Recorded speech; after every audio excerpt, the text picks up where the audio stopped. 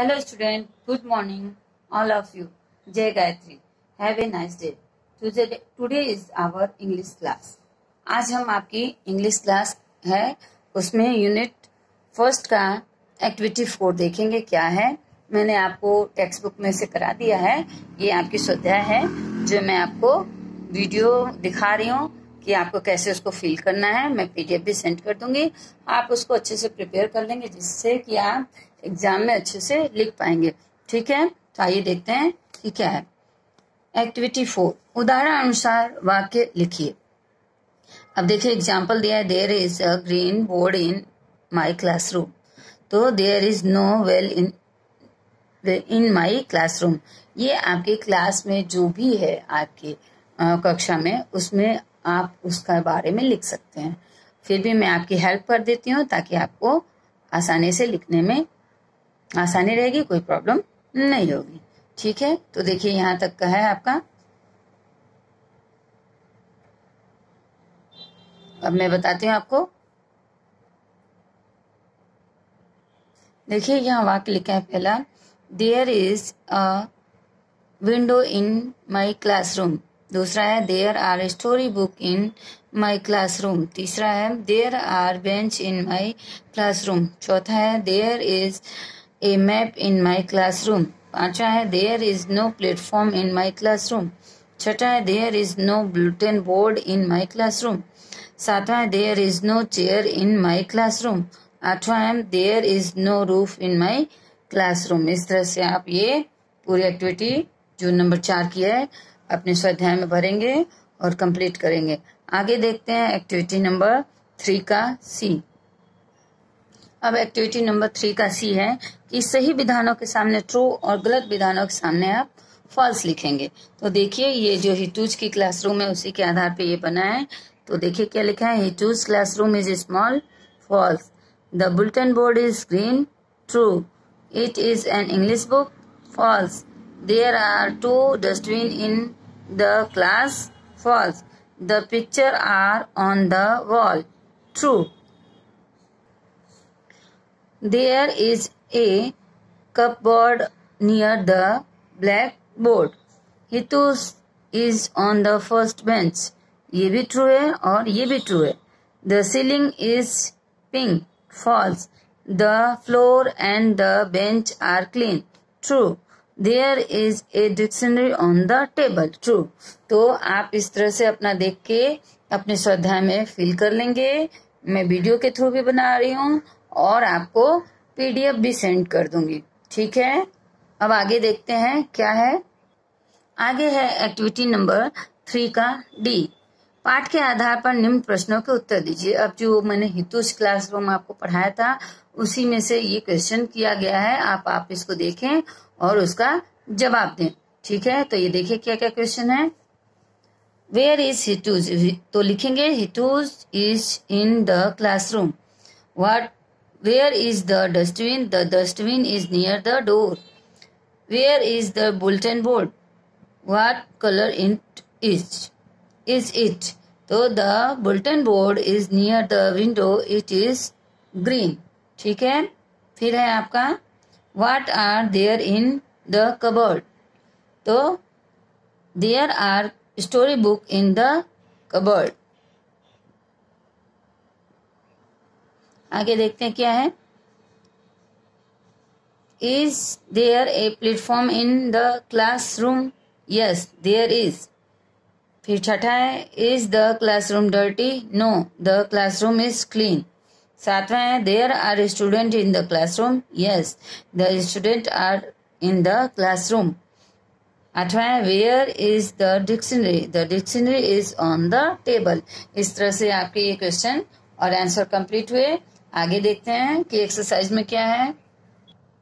आगे और एक एक्टिविटी है। एक्टिविटी नंबर थ्री का ई e. निम्न वाक्य कौन बोलता है? बोलने वाले का नाम वाक्य के सामने लिखिए। तो देखिए, मैंने जसबीर वाला आपको पढ़ाया था उसमें जो वाक्य जिसने बोला उसके नाम के आगे लिखना है। तो हियर इट इज़ कौन बोलता है? Jasbir. It's a nice video game miss bar is the is it a holiday today कौन बोलता है? मिस बा what is there in your hand कौन बोलते हैं? मिसबा। यस देयर इज़ कौन बोलता है? जसबीर। आगे देखते हैं और क्या है? उसी में आगे देखिए। क्या लिखा है? हाउ आर यू कौन बोलता है? मिसबा। फिर सातवां नंबर है इट्स अ वीडियो गेम कौन बोलता है? जसबीर। फिर आठवां है please show it to me कौन बोलता है? मिसबा। ठीक है इस तरह से ये भी एक्टिविटी हमारी कंप्लीट हुई। आगे देखते हैं क्या है। Activity number four activity two का चित्र देखकर जोड़ी में कार्य करें। उदाहरण अनुसार प्रश्नों के उत्तर लिखें। जो एक्टिविटी टू मैंने कराया था आपको आ, कितने पिक्चर हैं जो बसेस थी कार थे फ्लावर थे वो सब थे ना तो उसको हम देख के बुक में से टेक्स्ट बुक में से हम इसको फिल करेंगे। तो देखिए लिखा है there sorry example are, there five car in the picture. जो हमने उसमें देखा था, यस, देयर आर। दूसरा है, are, there three car in the picture तो हम लिखेंगे नो, दे आर नॉट। ठीक है, देयर आर आर नॉट। तो इस तरह से हम पूरा अपनी एक्सरसाइज कंप्लीट करेंगे, देखिए कैसे। ये आपकी एक्टिविटी है। पहला है, there sorry, are, there five flower in the picture. तो पाँच पिक्चर है तो हम क्या लिखेंगे? Yes, there are. फिर दूसरा है are there eight bananas in the picture yes there are फिर तीसरा है are there four buses in the picture no they are not यानी अगर चार पिक्चर उसमें बस की नहीं थी तो हम क्या लिखेंगे? नो ठीक है? इसी तरह आपका है। चौथा is there an elephant in a picture in the picture yes there is यानी एक एलिफेंट है ना तो हम लिखेंगे यस देयर इज़ इसीलिए यहाँ पे इज़ लगा है। ठीक है? आगे देखते हैं। पांचवा है they are there six rabbit in the picture yes there are फिर आपका है is there a cow in the picture no there is not गाय अंदर नहीं है पिक्चर के तो काउ मतलब क्या होता है? गाय। तो हम लिखेंगे कि नहीं। देयर इज़ नॉट नहीं है नहीं है, ये गलत है, ठीक है? इस तरह से आपकी एक्टिविटी कंप्लीट हुई। आगे की एक्टिविटी देखते हैं। एक्टिविटी नंबर पाँच। एक्टिविटी नंबर पाँच है एग्ज़ाम्पल उदाहरण अनुसार वाक्य बनाइए। Three pencil dash in dash box ये मैंने आपको टेक्स्ट बुक में बनवा दिया था, फिर मैं ये आपको स्वाध्याय में भर के भेज रही हूँ। आप देखें और आराम से लिखें इसको। तो देखिए, क्या है? Pens dash on dash table तो क्या लिखेंगे? There are pens on the table ठीक?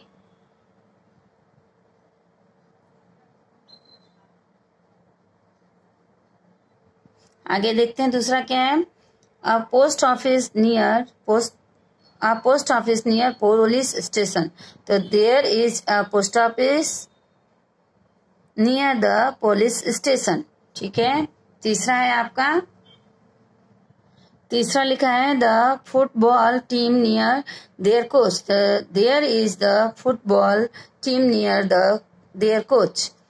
Four shops in shopping center there are four shops in the shopping center the dancer on stage तो क्या होगा? There are the dancer on the stage. फिर है, five lioness and one lion in the zoo. तो there are five lioness and one lion in the zoo. आगे क्या देखिए exercise में क्या है? Seven new painting on the wall there are seven new painting on the wall फिर आठवां your book table तो there is your book on the table इस तरह से ये हम अपनी एक्टिविटी पूरी कंप्लीट करेंगे। आगे देखते हैं एक्टिविटी नंबर सिक्स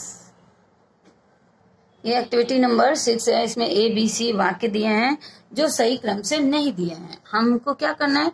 इनको सही क्रम में लगाना है तो देखिए this is a kitchen the tree are shady the gas stove in on the platform the guard near the gate This is the railway station. The dining table is round. The flower are beautiful. The passenger are on the platform.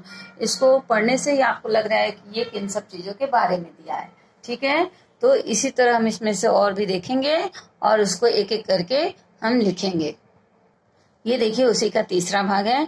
This is a garden the time table in English the dishes are on the dining table the paints are small plants are small ये देखिए, जैसे मैंने आपको बोला था कि किसी एक का नहीं है तो पहला ये गार्डन का है। फिर दूसरा किचन का है और तीसरा और रेलवे स्टेशन का है। तो आप लिखेंगे this is a garden the tree are shady the flower are beautiful the plants are small तो ये एक वाक्य पूरा आपका कहा हो गया? गार्डन के बारे में हो गया। तो इन तीनों में अलग अलग दिया है। आपको तीनों में से ढूंढ के ये वाक्य, ये सेंटेंस इसमें लिखने हैं। मैंने लिख भी दिया है, फिर भी आप एक बार ट्राई करना लिखने का। ठीक है? आगे देखते हैं क्या लिखा है। किचन के बारे में। अब किचन में जो जो आपकी चीज़ें यूज़ होती है, उसके बारे में बताया है कि this is a kitchen the gas stove in is on the platform. The dining table is round. The dishes are on the dining table. इसी तरह आप देखिए आपके रेलवे स्टेशन के बारे में क्या लिखा है? लिखा है this is the railway station this is guard near the gate the passenger are on the platform the time table is in English इसी तरह से ये पूरे आपके एक्टिविटी कंप्लीट हैं। ठीक है, आप इसमें से देख के लिख लेंगे। अब हम देखते हैं एक्टिविटी नंबर सात। एक्टिविटी नंबर सात में हम देखेंगे कि एक पिक्चर दिया हुआ है। ये देखिए आपके सामने है इसी पिक्चर पे छोटे छोटे वाक्य बनाए गए हैं और उसमें कुछ गैपिंग दिया गया है, यानी खाली जगह छोड़ी गई है। तो इस पिक्चर में से आपको देख के उसके बारे में हमको लिखना है। तो देखिए, पहला क्या है कि देखिए यहाँ पे ध्यान से कि दिस इज़ ए फार्म ये एक खेत का चिन्ह है, चित्र है। There is a cart in the it there there is a cart in it यहाँ पे क्या है? वो है, बैलगाड़ी। ठीक है? यहाँ पे फिर the bullock are under the tree bullock कहाँ बैठे? ये देखिए अंडर द ट्री फिर the women has a pot on ये पॉट है, ये इसके कहाँ पे सर पे on her head there are mangoes on ये मैंगोज के हैं, ये इसके पिक्चर ये देखिए। आपको यहाँ पे दिखा रहा है, यहाँ पे। ऑन द ट्री ठीक है? इस तरह से आगे देखते हैं। Children are standing near the tractor यह बच्चे कहा है? नियर द ट्रैक्टर ट्रैक्टर के पास में तो इस तरह से आप उसमें से पूरा देख देख के पिक्चर में से भरेंगे। वैसे मैंने भर दिया है। आप इसमें से देख के भी एक स्टोरी बना सकते हैं। ठीक है?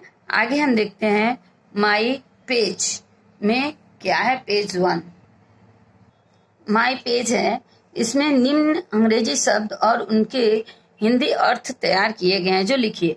अच्छी उची मतलब होता है चबाना। इसको आप इस तरह तीन बार लिखेंगे, फिर उसका आप तीन बार हिंदी अर्थ लिखेंगे। सालो सालो मतलब होता है निगलना, ठीक है? इसको भी आप इसी तरह तीन बार लिखेंगे, फिर इसको हिंदी में लिखेंगे। इसी तरह यहाँ पर दिया है नेबर। नेबर मतलब होता है पड़ोसी। तो उसको भी आप तीन बार इस तरह स्पेलिंग लिखेंगे और तीन बार उसकी हिंदी लिखेंगे। इस तरह बार बार रिपीट करेंगे बार बार लिखेंगे तो आपको अच्छी तरह लर्न हो जाएगा। फिर ये देखिए फॉरेस्ट फॉरेस्ट मतलब होता है जंगल। तो उसको भी आप इसी तरह लिखेंगे और उसके हिंदी अर्थ भी लिखेंगे, ठीक है? आगे देखते हैं रिच रिच मतलब होता है पहुँचना, ठीक है? ये हिंदी वर्ड लिखा है, इसको भी आप लिखेंगे इसी तरह।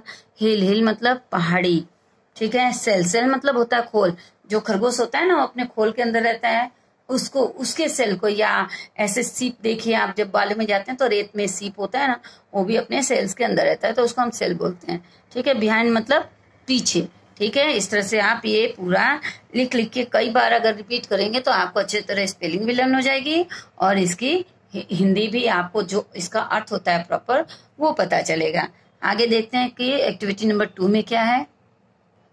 एक्टिविटी नंबर टू है, निम्न वाक्यों को अंग्रेज़ी में अनुवाद कीजिए। एक खरगो, एक खरगोश और एक कछुआ पड़ोसी थे। तो आपको मैंने, आप अपने टेक्स्ट बुक में देखेंगे, मैं भी उसको, आपको पढ़ा दूँगी और उसी में से आप फिर इसको देख के आप फिल करेंगे। ठीक है? तो देखिए टेक्स्ट बुक में आपके कैसे लिखा है? एक खरगोश और एक कछुआ पड़ोसी थे। तो a, hare and a tortoise were neighbour, ठीक है? मैं तेज दौड़ता हूँ। आई रन फास्ट खरगोश तेज दौड़ा। The hare run fast. तुम, तू बड़ा धी, बड़ा ही धीमा है। यू आर वेरी स्लो ठीक है? इसी तरह आगे है। कछुआ रेस जीत गया। The tortoise won the race फिर हम आगे देखते हैं क्या है। तीसरा कि सही विधानों के सामने ट्रू और गलत विधानों के सामने फॉल्स का लगाइए। आप नो और यस भी यूज़ कर सकते हैं। ठीक है? तो आगे देखते हैं क्या है। पहला, the hare and the turtles live in Ahmedabad. तो नहीं, वो कहाँ रहते थे? वो तो जंगल में थे। ठीक है? और पड़ोसी थे। तो आप लिखेंगे, no. The hare, run fast. हाँ वो बहुत तेज़ी से दौड़ता था। तो आप लिखेंगे, यस। यस लिखें या ट्रू लिखें, कोई भी चीज़ लिख सकते हैं आप। ठीक है? The turtles reach the hill top first no सबसे पहले कौन पहुँचता है? कछुआ और खरगोश की रेस में। कछुआ पहुँचता है। क्यों? क्योंकि वो लगातार मेहनत करता है। आलस नहीं करता है। इसी तरह आपको हमेशा पढ़ना है, लगातार पढ़ना है। अगर आप ये सोचेंगे कि एग्ज़ाम में पढ़ लें तो सारी चीज़ें आपकी प्रिपेयर नहीं हो पाएँगे। इसलिए आपको हमेशा इस चीज़ का ध्यान रखना चाहिए कि हमको रेगुलर पढ़ाई करनी चाहिए। ठीक है? चौथा है the hare become like a ball. तो हरे क्या हो गया? एक बॉल की तरह बन गया। हम्म? तो पूछ रहा है कि हरे बना के कौन बना? तो कौन बना था? कछुआ बना था, क्योंकि उसने अपना सर और पैर सब अंदर सिकोड़ लिया था। ठीक है? फिर लिखा है पांचवा, the tortoise won the race तो टटर्स रेस जीत गया था। तो यस या ट्रू कुछ भी लिख सकते हैं। ठीक है? अब ये वीडियो यहीं समाप्त करती हूँ। आपसे अब अगले वीडियो में मुलाकात होगी। तब तक के लिए जय गायत्री।